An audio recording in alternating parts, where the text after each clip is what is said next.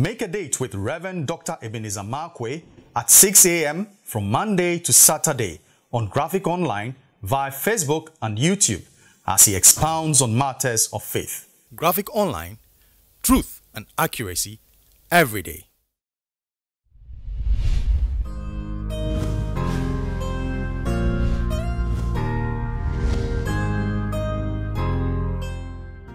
Hello. This is Reverend Dr. Ebenezer Markwei of Living Streams International, bringing you matters of faith with Graphic Online. And this morning, I'd like to capture my thoughts with a question to you Who tells you the truth? And the reason why I'm bringing this thought is because of the story of David and Nathan. I mean, after David had um, kind of misconducted himself with uh, Bathsheba, and uh, he had gone one more step further by killing Uriah, her husband. And the Bible said that, I mean, Joab was there, the king's captain, he was there. There were other people too who were there who were privy to the act of David or who were privy to it. So they were privy to it, and then they, they knew that David had done something wrong with Bathsheba. And the Bible said, none of them told him that what you did done is wrong.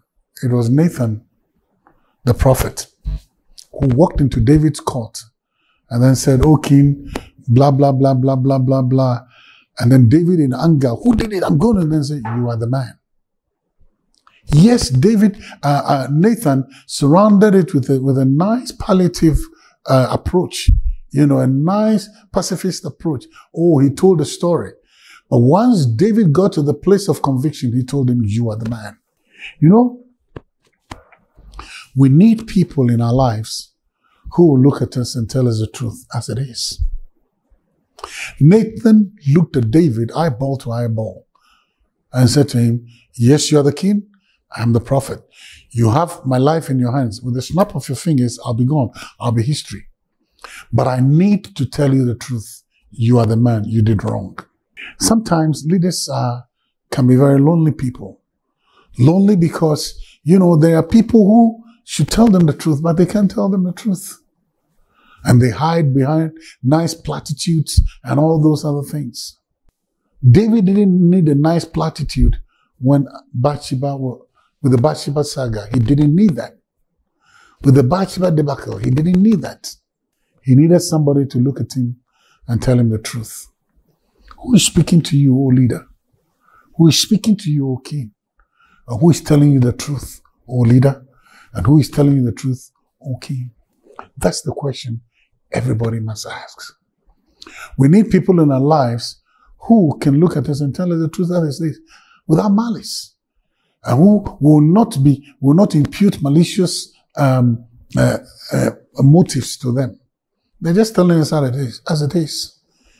If if, if all leaders, and especially people in positions of, prominence and power, if you had people who could look at you and tell you the truth, sometimes some of the pain you would suffer in the in the in the hereafter, it will not be so.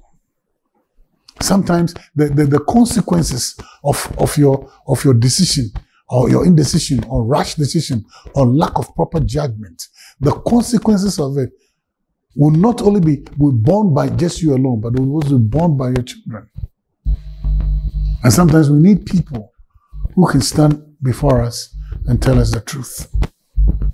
And it's so sad that sometimes those people are rather excluded from our coterie of people, from our courtesans. We exclude them. We don't want them to come near because they have the ability to look at us in the face and tell us the truth. O King, O leader, O big man, O big woman, who tells you the truth? Well, it's not a question I can answer for you. I'm, I'm, answering it to myself. So you need to go and answer it for yourself too. Who tells you the truth? See you later.